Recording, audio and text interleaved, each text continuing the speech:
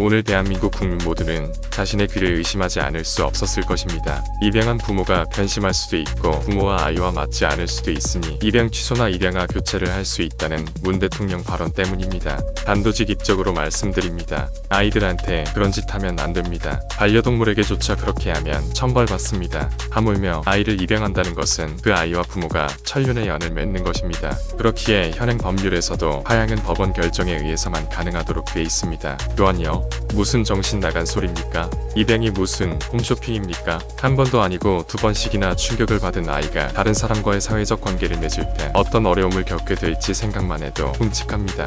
입양은 1차적으로 아이를 위해 만들어진 제도입니다. 입에 담기도 분노스럽지만 하양이나 교체는 아이를 위한 배려가 아니라 입양 부모의 부정적 행동을 정당화하는 도구로 사용될 게 뻔합니다. 그리고 그 자체로 아이에 대한 정서적 방치이자 학대입니다. 오늘의 대통령 발언으로 다수의 입양 가정 아이들은 자신도 언제든지 파양될 수 있다는 불안과 공포를 떨칠 수 없게 됐습니다. 진심으로 아이를 아끼고 제대로 양육하고 있는 입양 부모들도 사회의 부정적 시선을 벗어날 수 없게 됐습니다. 이렇게 대통령이 직접 나서서 사회적 학대와 부정적 인식의 확산을 주도하다니 문 대통령 인권 변호사였던 것이 맞습니까?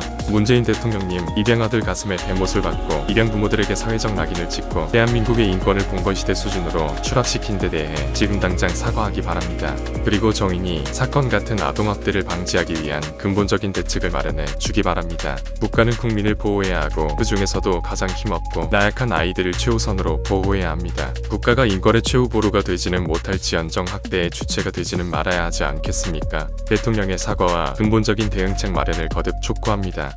you